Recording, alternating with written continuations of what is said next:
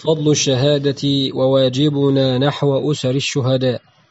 الحمد لله رب العالمين القائل في كتابه الكريم ولا تحسبن الذين قتلوا في سبيل الله أمواتا بل أحياء عند ربهم يرزقون.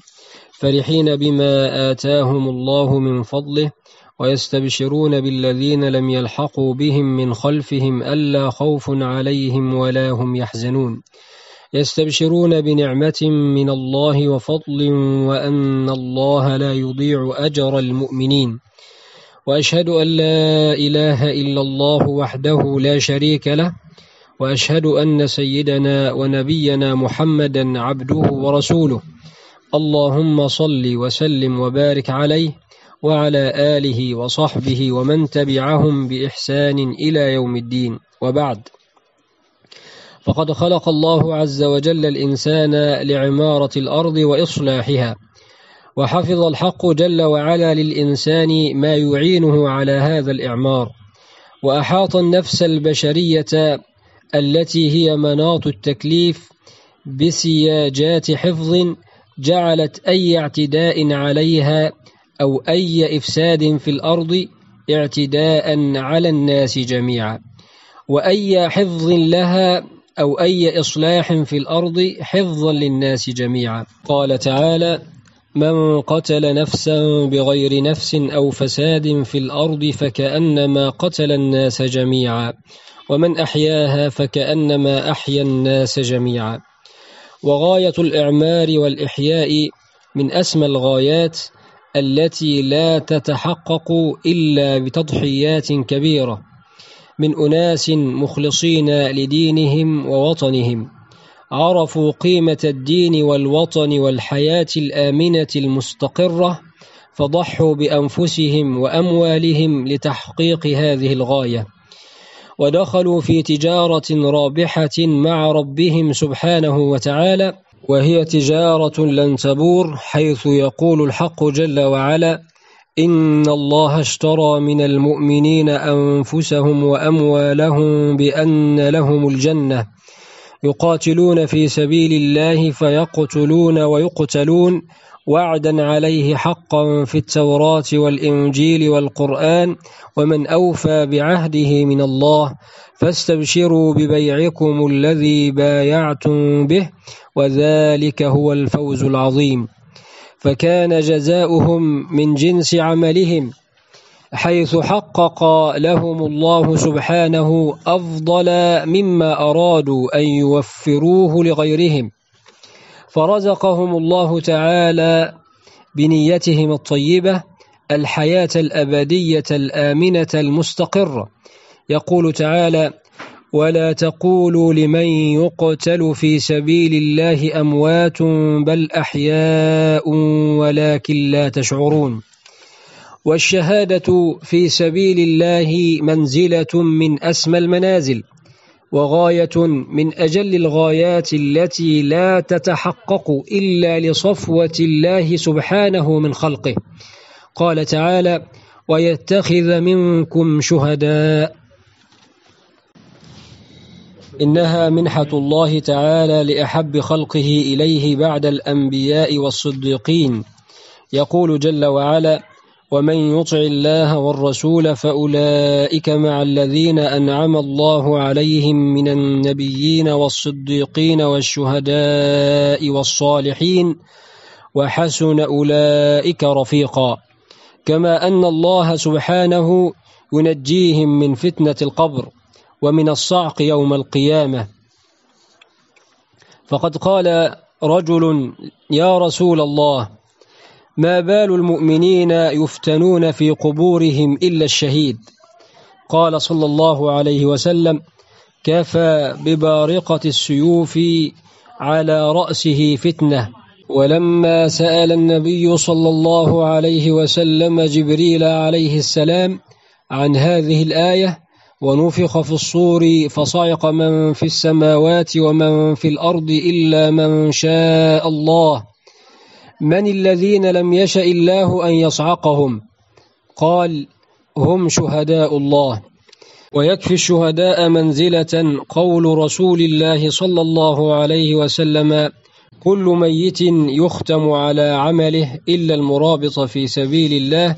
فإنه يجرى له أجر عمله حتى يبعث. ولذلك فإن من رزقه الله الشهادة ورأى فضلها وبلغ منزلتها يتمنى لو يرجع إلى الدنيا فيستشهد مرات ومرات. يقول صلى الله عليه وسلم ما من أحد يدخل الجنة يحب أن يرجع إلى الدنيا وأن له ما على الأرض من شيء غير الشهيد.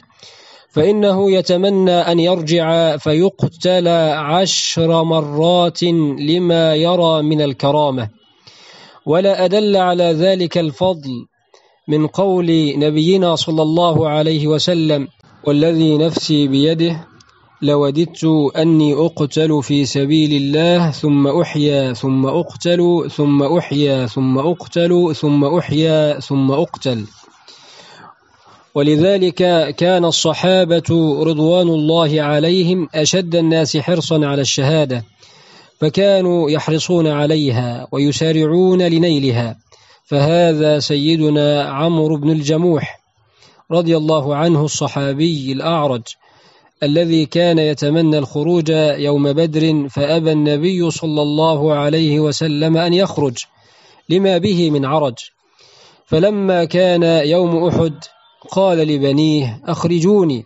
فقالوا له قد رخص لك رسول الله صلى الله عليه وسلم في عدم الخروج. فقال لهم هيهات هيهات منعتموني الجنة يوم بدر والآن تمنعونيها يوم أحد. فأبى إلا الخروج. وجاء إلى رسول الله صلى الله عليه وسلم فقال يا رسول الله من قتل اليوم دخل الجنة؟ قال صلى الله عليه وسلم نعم. قال فوالذي نفسي بيده لا أرجع إلى أهلي حتى أدخل الجنة. فقال له عمر بن الخطاب رضي الله عنه يا عمرو لا تألى على الله.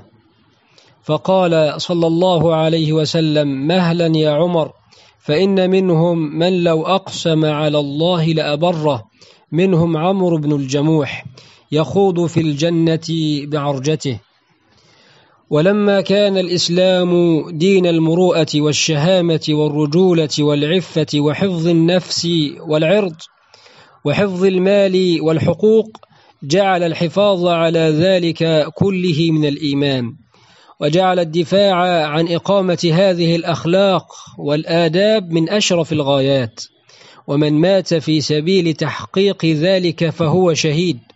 فالشهادة لا تقتصر على شكل واحد وإنما ألوانها متعددة حيث يقول صلى الله عليه وسلم من قتل دون ماله فهو شهيد. ومن قتل دون دينه فهو شهيد. ومن قتل دون دمه فهو شهيد. ومن قتل دون أهله فهو شهيد. ويقول صلى الله عليه وسلم القتيل شهيد وصاحب الهدم شهيد والمبطون شهيد والغريق شهيد ومن أكله السبع شهيد والسليم شهيد يعني اللديغ. وصاحب السل شهيد ومن مات مرابطا في سبيل الله شهيد ومن ذكر الله تعالى إذا أخذ مضجعه ثم مات فهو شهيد.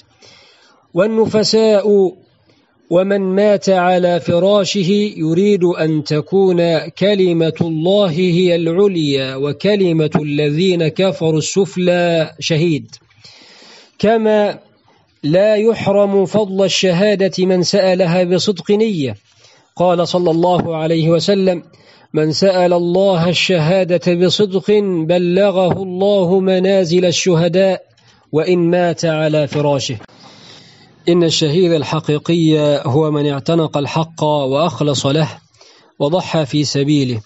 قال صلى الله عليه وسلم من قاتل لتكون كلمة الله هي العليا فهو في سبيل الله. والشهيد مشرف في الدنيا والآخرة. ففي الدنيا يذكر اسمه ويكتب بحروف من نور. في ذاكرة الأمة مثالا للتضحية والرجولة والشرف. وسيظل شهداؤنا باقين في عقولنا وقلوبنا. نذكرهم بالإعزاز والإكبار. مهما تعاقبت الأجيال. وفي الآخرة يبعث الشهيد في هيئة الفخر والشرف والجمال. يقول صلى الله عليه وسلم والذي نفسي بيده لا يكلم أحد في سبيل الله والله أعلم بمن يكلم في سبيله إلا جاء يوم القيامة اللون لون الدم والريح ريح المسك. لقد ضحى شهداؤنا الأبرار بأنفسهم من أجل غيرهم وتركوا خلفهم أسرهم وإن لهم علينا حقوقا وواجبات منها أن ننظر إليهم نظرة إجلال وإكبار. فلا يعرف الفضل لأهل الفضل إلا ذو الفضل حيث يقول الحق سبحانه هل جزاء الإحسان إلا الإحسان؟ ويقول نبينا صلى الله عليه وسلم لا يشكر الله من لا يشكر الناس. ويقول صلى الله عليه وسلم ومن آتى إليكم معروفا فكافئوه فإن لم تجدوا فادعوا له حتى تعلموا أن قد كافأتموه. وأي معروف يوازي أو يضاهي بذل الإنسان روحه فداء لوطنه وعرضه. ومنها ألا نشعرهم بمرارة فقد الأب أو العائل ويكون ذلك بتعهدهم وقضاء بعض الأوقات معهم والبشاشة في وجوههم وحسن معاملتهم. وقد كان النبي صلى الله عليه وسلم يتعهد أسر الشهداء وأبناءهم بالرعاية ومن ذلك ما كان منه صلى الله عليه وسلم مع أسرة سيدنا جعفر بن أبي طالب رضي الله عنه الذي استشهد يوم مؤتة وترك خلفه أولادا صغارا فتولى النبي صلى الله عليه وسلم أمرهم وتعهدهم بملاطفته وحنوه وكفلهم بعد وفاة أبيهم. أقول قولي هذا وأستغفر الله لي ولكم. الحمد لله رب العالمين وأشهد أن لا إله إلا الله وحده لا شريك له وأشهد أن سيدنا ونبينا محمدا عبده ورسوله. اللهم صل وسلم وبارك عليه وعلى آله وصحبه أجمعين ومن تبعهم بإحسان إلى يوم الدين. إخوة الإسلام إن من واجبنا نحو أسر شهدائنا أن نوفر لهم الحياة الآمنة المستقرة. فقد استشهد آباؤهم من أجل أن يوفروا لنا هذه الحياة. وقد ضمن رسول الله صلى الله عليه وسلم لمن يقوم برعاية أسر الشهداء وأبنائهم جزيل الأجر والثواب حيث يقول صلى الله عليه وسلم من جهز غازيا في سبيل الله فقد غزا ومن خلف غازيا في أهله بخير فقد غزا ومعنى خلف غازيا في أهله أي قام على شؤونهم ورعايتهم ووفر لهم ما يحتاجون إليه فينال بذلك مثل أجر الشهادة.